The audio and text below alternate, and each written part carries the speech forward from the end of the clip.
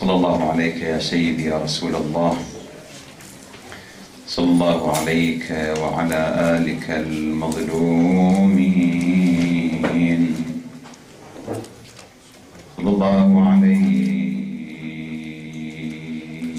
يا سيدي يا أبا عبد الله وعلى المستشهدين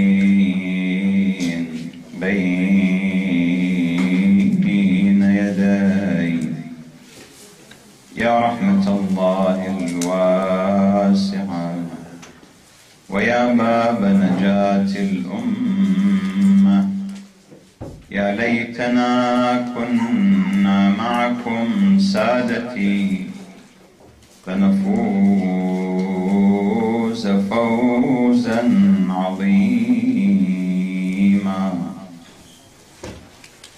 قال الله العظيم في كتابه الكريم بسم الله الرحمن الرحيم.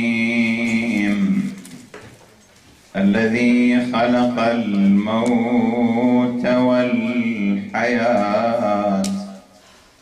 ليبلوكم أيكم أحسن عملا.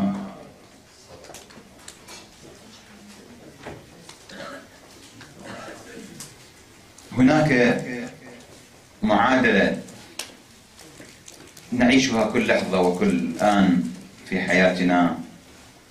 هذا الصراع المستمر. وهذه العملية اللي تتم من حيث لا نشعر موت وحياة. والإنسان يظن يظن أنه الأمور ليست بهذا الشكل. ولكن الله عز وجل يشير في هذه الآية الكريمة يقول هو الذي خلق الموت كما هو الذي خلق الحياة. لماذا؟ ليبلوكم. إنه الاختبار. إنه التنافس بعمل الخير. لأن الإنسان خلق لا لم يخلق ليموت وإنما خلق الناس للبقاء. فظلت أمة يحسبونهم للنفادي يقول الشاعر المعري. خلق الناس ليبقوا. والبقاء يكون على مراحل. قد يسأل سائل ويتعجب أنه كيف الله عز وجل كيف يقول خلق الموت؟ هو الموت؟ عدم. الموت فناء الموت إعدام سميه ما شئت. الحياة عرفنا أنه خلق الله خلق الحياة ولكنه هل الموت هو خلق أيضا. نعم. الموت ليس عدم. الإنسان بالموت يخلع ثوبا ويلبس ثوبا آخر. قطرة الماء إذا سكبت على الأرض لم تنتهي لم تنعدم. تحولت من سائل إلى بخار. قد تتحول القطرة إلى ماء إلى صلب إلى صلب وهي ثلج مثلا. تخلع ثوبا وتلبس حالة أخرى. وهو عملية عملية طويلة مستمرة. الإنسان في هذه الحياة يقول عنه الماديون أنه لم يكن شيء وأنه سوف يؤول إلى لا شيء يعني سوف ينتهي. طبعا هذا هو رأيه. ومن هنا يفعل الإنسان المادي ما يشاء في الحياة الدنيا لأنه يقول ما هي إلا حياتنا الدنيا. حياتنا بس هذا ما في غيرها يعني. وما يهلكنا إلا الدهر. كثير يسموهم الدهريين يعني لا, لا يؤمن بشيء اسمه الآخرة. حد الحياة ونهاية الحياة هو في القبر وليس شيء آخر أو عند حافة القبر وينتهي الإنسان. أما الإلهيون أما الأنبياء أما الأديان تقول أن هذه الحياة بدأت قبل نحن ما نحن الآن فيها الحياة الدنيا قبل هذه الدنيا كانت وثم انتقلت إلى هذه الدنيا. إلى عوالم طبعا مختلفة وشدتها تكون بعد هذه الحياة. يعني الآن نحن في حالة من الحياة لكن في درجة درجة معينة. كل ما الإنسان ينتقل إلى حياة أخرى تقوى أكثر هذه الدرجة. حتى تصل تبلغ ذروتها فكشفنا عنك غطاءك فبصرك اليوم حديد. في تلك الحياة الإنسان الآن بالدنيا نحن نسمع لكن نسمع من؟ نسمع اللي يكون داخل البناية داخل البيت نسمعه. بعد الموت يسمع من بعيد مسافات بعيدة. أشهد أنك تسمع كلامي وترد جوابي. من وراء البحار تسلم فأنت على المعصوم سلام الله عليه تقول أشهد أنك تسمع الكلام وترد الجواب. ليس فقط المؤمن. في بدر في واقعة بدر حينما قتل المشركون آه، وضعوا في القليب وهو البئر يشربون به الماء وضعوا هناك يعني دفنوهم فيه. فجاء النبي صلى الله عليه وسلم لهم وقال أجلسوهم. يا عتبة يا فلان يا شيبة أجلسوهم. قال لقد وجدت ما وعدني ربي حقا. الله وعدني بالنصر وأنا شفت النصر الآن. فهل وجدتم ما وعدكم ربكم؟ وأنا قرأت لكم القرآن الآيات أنه في جهنم في عقاب. فهل وجدتم شيء شفتوا شيء بعد الموت؟ أي بعد مباشرة يعني بعد ما ماتوا رأسا. فهل وجدتم ما وعدكم ربكم شيئا؟ طبعا ما فينا نجاوبوا قال أرجعوهم أرجعوهم. قال يا رسول الله أنت تخاطب أجساد. فصلت رؤوسها قطعت رؤوسها. تخاطب أجساد. قال والله ما أنتم بأسمع منهم. هم يسمعوا أكثر منكم. ولكن حيل بينهم وبين الجواب. شافوا الحقيقة مثل ما هي. في الدنيا مكيفين إنه إحنا أصحاب القوة وإحنا أصحاب السلطة وإحنا انتصرنا وإحنا عملنا كذا ومؤامرات وخطط. ولكنه بمجرد أنه ماتوا وانتقلوا إلى عالم آخر تقوى عندهم هاي مش الحواس المادية طبعا. لا يقول قائل إنه طيب الأذن كيف تسمع مثلا العين ما بتشوف بعد. لا ليس. تلبس ثوبا كما ذكرنا ثوبا آخر. هنا حواس حواس معروفة اللي هي العين مثل والأذن والسمع وغير ذلك. هناك حواس مجردة بحسب ذاك العالم. يعني الآن اللي يروح للفضاء. ما في يلبس ملابس الشغل يروح للفضاء. في ملابس خاصة. لأن هناك غير جاذبية شكل وتقوى وكل شيء يختلف. فيلبس ثوبا آخر. هذه الروح بعد أن تخلع بدنها في الدنيا تلبس ثوب جديد. جديد فعلا. نحن نتصور أنه قضية يعني محزنة هذا مات يعني انتهى كل شيء انتهى. ولكنه صار في عالم أوسع وأرحب. وصار يعني مثل قبل إذا كان الميت في الحبس قبل ما يموت يعني. كان في الحبس ما في زور أهله. فإذا مات فإذا مات وكان ممن يؤذن له سيأتي يزور أهله كل جمعة مرة أو مرتين. يزورهم فإذا رآهم بحال حسن فرح.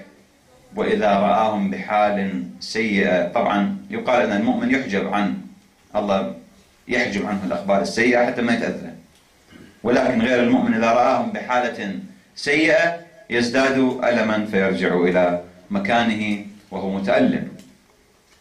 هذه حقائق ليست كلام يعني من الخيال. مش fiction story هذه حقيقة هذه. ما قد تقول لي من من قال هذا؟ كيف شافوا اللي شافوهم هم من يعرفون أهل الذكر. فاسألوا أهل الذكر إن كنتم لا تعلمون. هم أهل الذكر الذين كانت عندهم مش الأئمة مش الأنبياء سلام الله عليهم. في ناس في ناس يعني باصطلاحنا ليسوا معصومين ولكن وصلوا إلى درجات قد تقول إحنا ما بنسمع شيء. يعني هؤلاء يحكوا الميت يصيح يصرخ وراء اهله إنه تعالوا الحقوا لي مثلا كذا. ما نسمع هالشيء. لأنه ما عندنا قابلية ما عندنا قابلية. الإنسان في الحياة الدنيا تأخذه الأمواج وتجيب الأمواج يوميا. أمواج الهموم والمشاكل والإضطرابات والفتن والتحديات. وكلما فضي فرغ من موجة وقال الحمد لله ارتاحنا اجت الموجة الثانية. لاحظين هيك؟ كل واحد يقول إن شاء الله بس أضبط أموري شوية وكذا بعد ما كبر الأولاد. وكبر الأولاد وجت الموجة الثانية. أمواج مثل الموج اللي القرآن الكريم يصفه عن نوح عليه السلام وهي تجري بهم في موج كالجبال. ونادى نوح ابنه يا بني اركب معنا.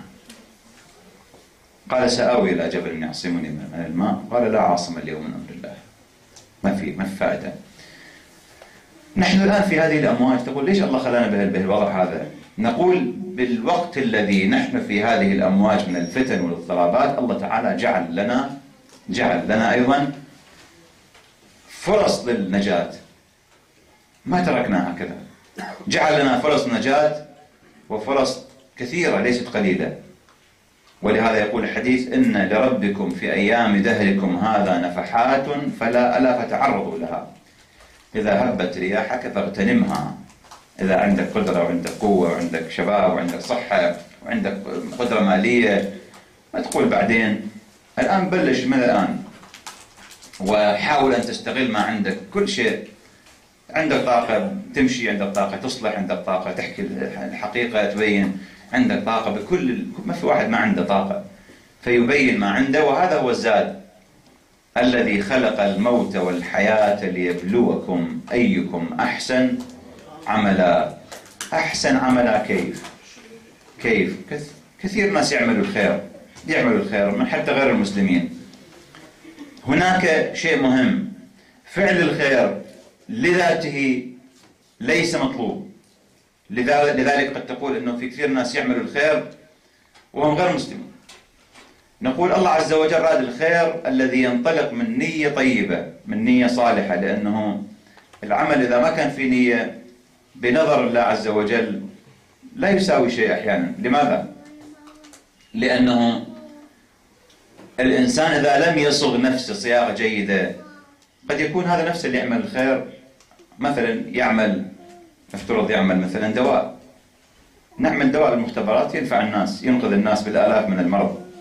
ولكن هو نفسه هذا إذا ما كان مشتغل على داخله ما كان مشتغل على روحه وعلى نفسه قد يصنع فيروس يصنع قنبلة مثلا بها من الفيروس تدمر البشرية وهذا اللي حدث ولهذا القضية مش إنه واحد بس يعمل خير. يعمل خير ولهذا يقول الإمام الصادق عليه السلام يقول ما ضعف بدن عما قويت عليه النية. اللي عنده نية واللي عنده عزم يعني في داخل نفسه أبدا لا يضعف أبدا. شوف اللي بده يسافر بكرة إلى إلى بلده مثلا. ما يحتاج إلى منبه ألارم ما يحتاج. لأنه عنده نية قوية أنه راح يفيق بده يسافر. بس إذا بده يصلي الصبح لو يخلي أربع منبهات. ما يفيق ما بدي ما بدي يصلي ما بدي يقوم. هذه المشكلة.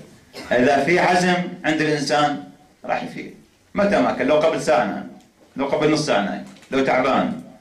فإذا ليبلوكم أيكم أحسن عملا. تسابقوا أيها الناس هذه الدنيا ممر الإمام عليه السلام الله يقول الدنيا دار ممر والآخرة دار مقر. فخذوا من ممركم لمقركم. ممر يعني واحد يمر مثلا جسر يعني يعبر جسر. خليه يستغرق مثلا دقائق مش أكثر. هذا الممر نهايته إلى أين؟ هذا المهم إلى أين يؤدي؟ في جسر يؤدي إلى الجنة وفي جسر يؤدي إلى النار والعياذ بالله. ولكن ما دامت الفرصة بعده ما دام الإنسان حي في الحياة الدنيا عليه أن يبادر وعليه أن يعمل فإذا يشتغل على على نيته يشتغل على سجيته يتعب عليها. التعب على هذا ما مش ضايع. تعب يسوى يعني يستحق. ولهذا الإنسان يعمل أعمال خير تبقى حتى من بعده. أعمال الآن تسمعون مثلا مؤسسات تصير مثلا أعمال مشاريع خيرية كثيرة. الإنسان الذي يسن سنة حسنة له أجرها وأجر من عمل بها إلى يوم القيامة. كم كم ثواب هذا؟ كم عظيم؟ يسوي شيء مثلا يبدأ شيء جديد مثلا بالمجتمع وكذلك من سن سنة سيئة فعليه وزرها ووزر من عمل بها إلى يوم القيامة. لأنه هو اللي بلش علم الناس على شغلة غلط راح تبقى برقبته. العمل الصالح هو زاد الإنسان. تزودوا فإن خير الزاد التقوى. تزود من التقوى فإنك لا تدري إذا جن ليل هل تعيش إلى الفجر. فكم من فتى أمسى وأصبح ضاحكا وقد نسجت أكفانه وهو لا يدري. نعم. ما أكثر الآن العبر. كنت طالع في قبل كم يوم في بعض المواقع. وكنت أعجب يعني وليس أعجب في هذا ولكن حقيقة يعجب الإنسان. في واحد من من الجنوب يعني من لبنان. أعتقد ذهب إلى ألمانيا قبل فترة يعني قبل يمكن شهرين. أربعين يوم فقط يشتغل حتى يضبط يعني أموال وشيء. عائلته تركها هناك. أربعين يوم غرق هناك. غرق. في بعض البلدات يعني هناك. لا يدري الإنسان. وما تدري نفس ماذا تكسب غدا وما تدري نفس بأي أرض تموت. هذه العبارة. هذا ليست للآخرين هذه لنا. نحن من نحن وما نحن إلا مثلهم غير أن أقمنا قليلا بين ثم نرحل. نفس الشيء. فلذلك ما أكثر العبر في الحياة الدنيا وكلما يسمع الإنسان بعزيز له وكل ما يسمع الإنسان بحبيب له حقيقة تهيج به الألم والوجد ولكن لنا عبرة ولنا أسوة بآل الله عز وجل لنا أسوة بآل البيت سلام الله عليهم. هؤلاء عذبوا هؤلاء شردوا هؤلاء قتل حتى أطفالهم.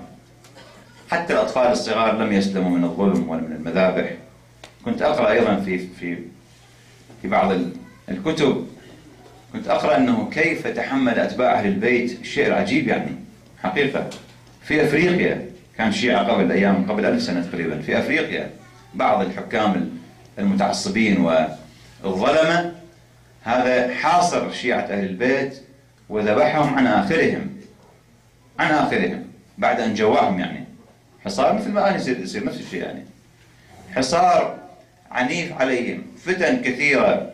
سواء في بغداد وسواء في أفريقيا وسواء في المغرب العربي وما جرى في مصر قبل أيام الفاطميين هناك حالة عجيبة يعني يقرأ الإنسان يعجب أنه كيف هؤلاء هؤلاء كيف ما يشبعون من هذه الدماء البريئة اللي تصير.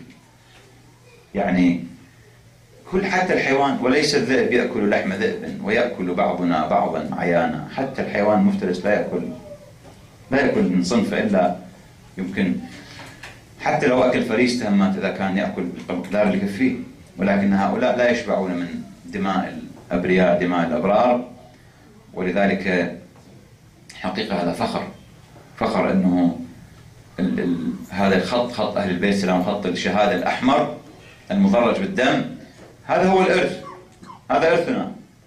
إذا الآخرين ورثوا الظلم والمذابح والمجازر والمقاصد من من أسيادهم. من قادتهم نحن ورثنا من آل الله عز وجل من آل البيت سلام الله عليهم ورثنا كيف ننتصر بدمائنا. نعم قد تقول هل ينتصر الدم؟ نعم الدم ينتصر.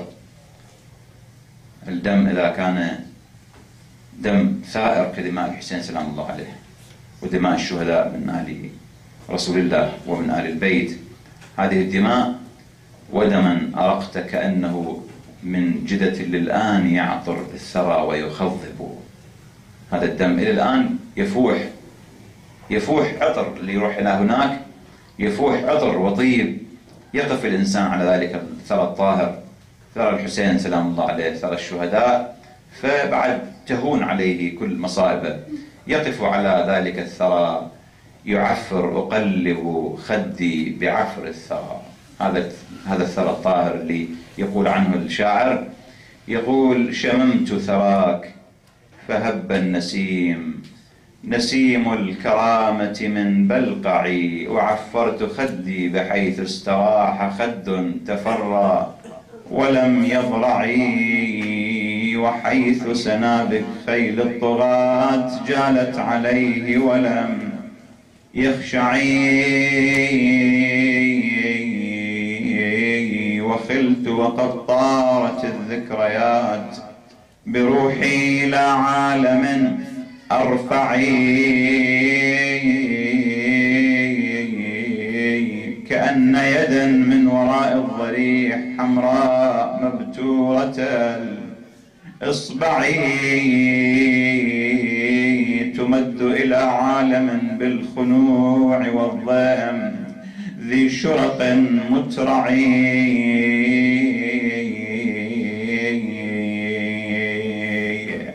ماذا يتذكر الإنسان؟ يذكر هذه الدماء للحسين ولأصحاب الحسين ولأبناء الحسين ويذكر أيضا دموع لزينب وأخوات زينب على هذا التراب أيضا. وهي تجول من مكان من خيمة إلى خيمة تندب إخوتها وأعزتها. صاحت فأين نزار في متون خيولها تراب السبام قد ألم السوق. عاتقي أقلب طرفي لا حمي ولا حما سواه فوات السوق من فوق عاتقي. أنا منين أبو فاضل أجيب وأراوي حالقة الغريب؟